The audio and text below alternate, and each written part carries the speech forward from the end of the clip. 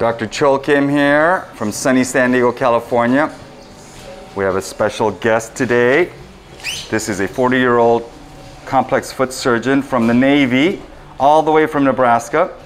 He has left sided back pain that has been nagging him to no end despite numerous non operative treatments, including targeted injections, which provided temporary relief, but at least we got some diagnostic information. If you look really closely at his spine, you can see that he's got two bad discs. There's an annular tear at 4.5. That was the targeted injection, but there's an obvious annular tear at 5.1. The diagnostic injection made him better temporarily, which tells me that those are the main pain generators. So instead of doing a big fusion on a young, big, active gentleman, we're going to try to do this surgery as minimally invasively as possible using the laser endoscopic technique. Come in from the left side to debride that little entrapped annular tear, release the stuck down nerves from the inflammation, and reinitiate a new healing response. We'll do the same thing at 5-1 for that annular tear and disc protrusion, but we'll use the interlaminar approach so that I can get all the way to the midline. And hopefully he'll fly back and get back to his busy lifestyle as soon as possible, including golf. So wish me luck.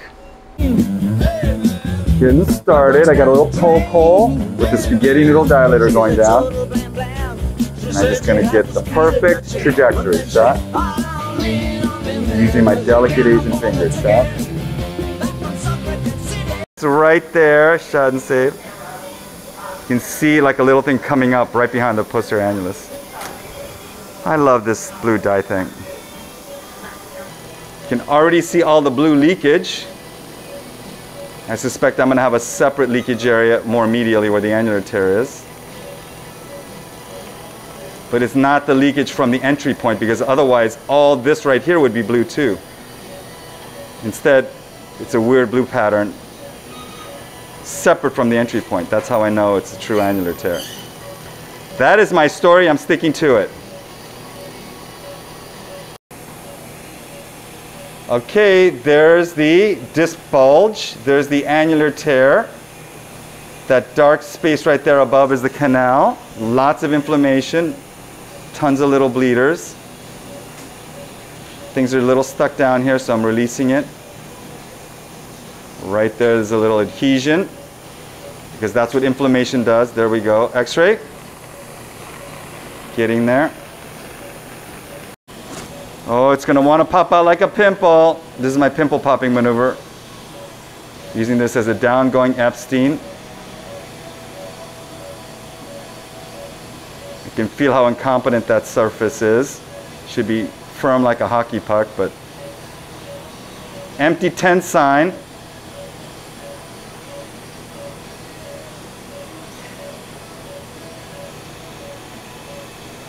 Oh yes.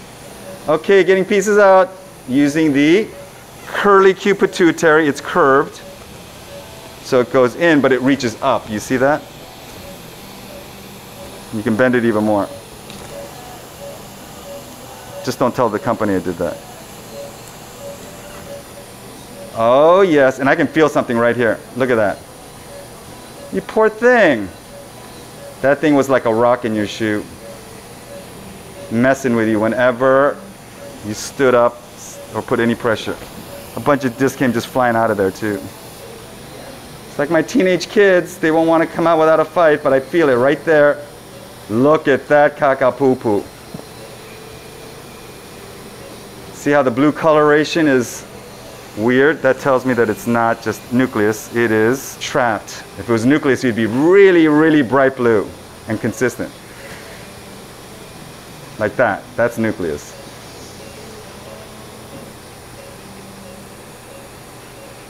Ah. Kakapupu.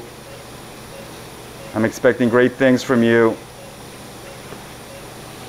If you want to see where the exiting nerve root is, it's right on the other side of this cannula. Right there. Look away. As my mama always said, spine surgery would be so much easier without blood vessels and nerves and fat. That's not a judgment, that's just an observation. A lot of kakabubu disc in here. Just the way we like it.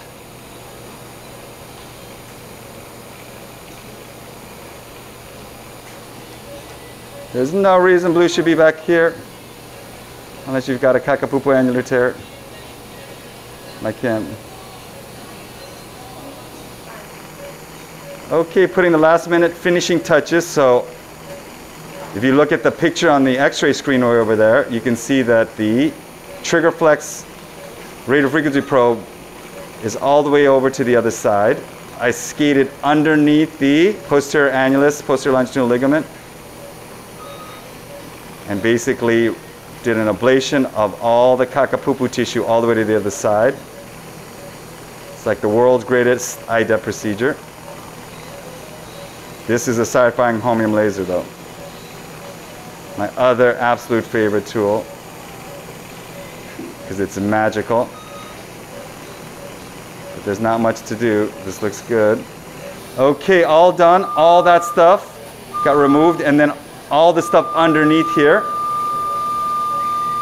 I'm just ablating any pathologic tissue underneath like a targeted IDET, intradiscal electrothermal modulation treatment. I was on the FDA orthopedic devices panel that voted on that for the FDA, so I know about that technology really well. Okay, getting started at the next level. The future of surgery is to be an interventional radiologist because even Star Trek, McCoy, the McCoy in Star Trek, he's not a surgeon like he says. He is an interventional radiologist because all surgeons of the future are going to be interventional radiologists. Okay, now I'm at 5-1. I've got the tiny little needle inside the disc. And again, chromatodiscogram, shot and save. I'm in the disc. Shot and save. Shot and save. Another messed up disc, shot and save. Oh, it's so cute. I see the leakage like this, pooling. It's adorable. It's not cute, it's adorable. Okay, this is what it looks like right when you go in. We call it the first look. But what's cool is that the blue dye is not right where I put the cannula in, which is way back here in the middle. Now at 12 o'clock is the medial border of the spinous process. And I'm just making my way more and more medial, sliding over the disc. And look at this, it's getting blue right down the middle. It's gonna be a blue dot medial. Because that's where the annular tear is. I'm just saying. Inflammazione.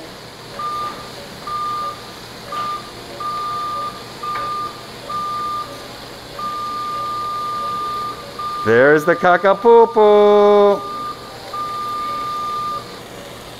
Right out of the textbook, right there. That's the, that's the empty tensine right there. Look at that. Look how pathetic that bump is. Should be like a hockey puck. Can tell you had some epidurals. I'm almost, ooh, nerves are working. There's one of the nerves probably.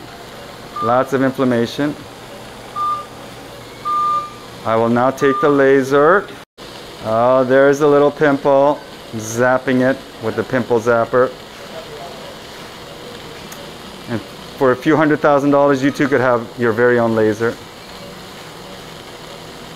There is the ugliness right there. The only way that can be blue is if there was a big tear there. Because the entry point of the needle for the chromatodiscogram was way more lateral. Oh, it's so cool when you see what you're expecting to see. Because it's the little things that keep you going, don't you think? Oh, whatever, Brittany. Just a guy trying to be a guy here. Those hot pimples. That's going to hit the mirror of your bathroom when you pop it. Oddly gratifying. Favorite too, Terry? Okay, maybe not.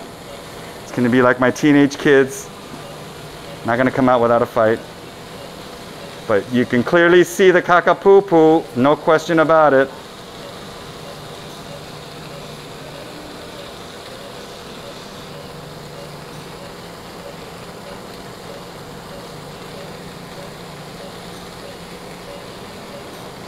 Okay, I take it back. 4 or 5 is still the worst because it's not really flying out of here like I thought.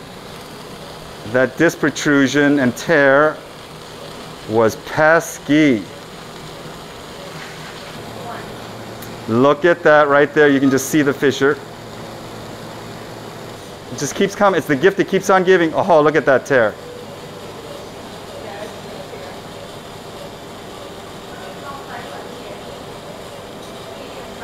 Oh, yes. Thank you, Brittany. But all your negativity is just making me stronger. Okay, I'm really glad we're doing 5-1 because that looks like it would be painful. It's stuck to everything too. Look at that. It's all inflamed. Look at here. Look at it's a boy.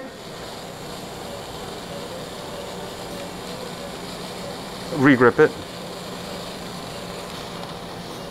Regrip it with your left hand now. Look, it's like a little mouse. Oh, what do I do with it? Here it is. That's just one in many pieces. Can you grab that? Like in this long old time. Something right here. There's the dural tube right there. It's surrounded by some ligamentum flavum, epidural fat. There's the wall of it.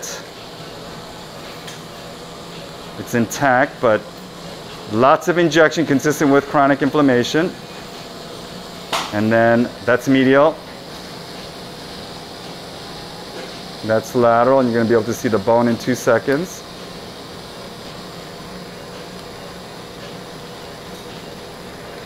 right there.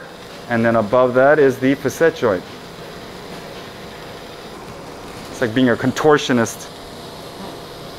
Surgery's all done. I did it through these two little shark bites or vampire bites. I picture like this like deformed vampire taking a bite at your back.